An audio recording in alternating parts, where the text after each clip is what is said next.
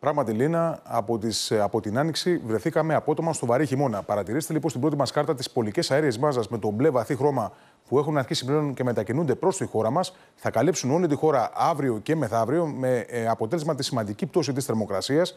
Αυτό τώρα θα έχει ένα αποτέλεσμα να δούμε στην, στην επόμενη μας κάρτα ποια θα είναι τα χαρακτηριστικά της κακοκαιρίας για τις επόμενες 24 με 48 ώρες. Περιμένουμε ισχυρές καταιγίδες με έμφαση, θα λέγαμε, το ανατολικό, βορειοανατολικό Αιγαίο και χρειάζεται πολύ μεγάλη προσοχή. Γιατί σε αυτές εκεί τις περιοχές θα πέσει πολύ μεγάλος όγκος νερού σε μικρό χρονικό διάστημα.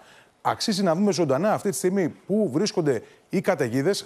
Στην επόμενη μας κάρτα θα δούμε χαρακτηριστικά ότι ήδη εκδηλώνονται καταιγίδες στο ανατολικό, βορειοανατολικό Αιγαίο αλλά και την βορειοανατολική Ελλάδα. Βλέπετε χαρακτηριστικά ε, με τους συμβολισμούς που έχουμε βάλει χαρακτηριστικά στην βορειοανατολική Ελλάδα, με τους χρωματισμούς. Εντοπίζονται οι ηλεκτρικές εκενώσεις έτσι όπως αποτυπώνται από το μετρολογικό ραντάρ. Τι διάρκειας ε, θα είναι αυτές οι καταιγίδες, Αυτά τα φαινόμενα θα κρατήσουν ένα μέχρι και αργά το βράδυ, αλλά και αύριο το πρωί ακόμη θα έχουμε έντονες καταιγίδες με βάση το ανατολικό νοτιοανατολικό Αιγαίο. Άρα σε όλο θα λέγαμε το ανατολικό Αιγαίο θέλει πολύ μεγάλη προσοχή, θα είναι αρκετά έντονα τα φαινόμενα.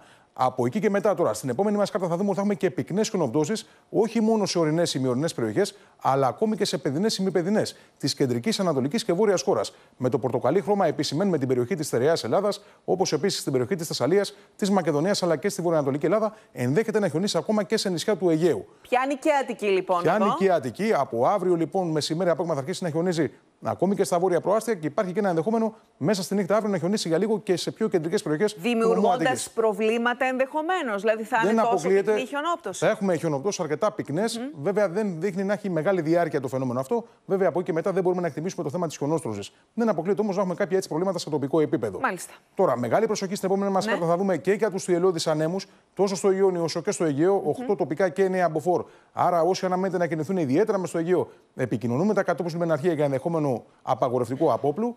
Και κλείνουμε με τις πολύ χαμηλές θερμοκρασίες που θα έχουμε κυρίως από αύριο και Παρασκευή και μετά με ολικό παγετό, ιδιαίτερα στη Βόρεια Ελλάδα. Θα δούμε θερμοκρασίες ακόμα και κάτω από μείον 10 βαθμούς Κελσίου, όπως μπορούμε να δούμε στην τελευταία μας κάρτα με το πορτοκαλί χρώμα.